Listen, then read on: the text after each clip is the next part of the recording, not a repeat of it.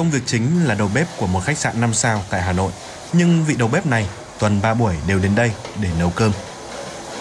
Mình cũng muốn đóng góp một cái phần nào đó để giúp đỡ những cái bà con có hoàn cảnh khó khăn. Thực đơn này thì mình sẽ thay đổi theo ngày. Mọi công đoạn đều được hoàn thiện trước 10 giờ để sẵn sàng phục vụ thực khách.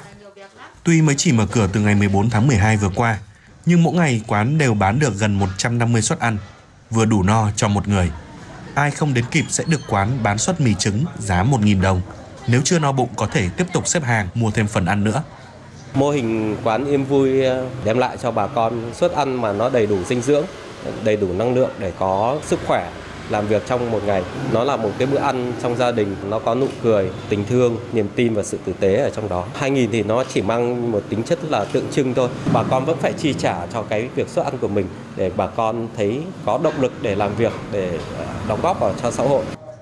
Quán Yên Vui còn xa lạ với người dân thủ đô, chứ thực ra đã rất quen thuộc với những người lao động ở nhiều địa phương khác như thành phố Đà Nẵng, thành phố Hồ Chí Minh. 13 quán trên toàn quốc đều thuộc quỹ Bông Sen, trong 8 năm qua đã làm ra 3 triệu suất cơm 2.000 đồng. Thời gian vừa qua, tính minh bạch của những tổ chức cá nhân làm từ thiện đều được dư luận quan tâm. Với hệ thống quán cơm Yên Vui, mọi chi phí và doanh thu của cửa hàng trong một ngày sẽ được tải lên trên website của dự án mọi người làm việc ở đây thì đều có lương phải có trách nhiệm với cái công việc đó được kiểm toán bởi một trong bốn công ty kiểm toán độc lập quốc tế có uy tín và chúng tôi chịu trách nhiệm pháp lý chất lượng về thực phẩm. Năm nay 80 tuổi là công chức về hưu không phải là trường hợp khó khăn. Bà Minh khi nghe tin vẫn đích thân đến ăn thử, gửi tặng quán một bức thư cảm ơn để động viên và lan tỏa việc làm ý nghĩa này. Mà sạch sẽ, cơm ngon, là mở quán này là rất là hạnh phúc. Hiện tại quán đang mở thứ hai, 4, 6. Bắt đầu từ tháng 1 tới sẽ mở cửa vào tất cả các ngày trong tuần.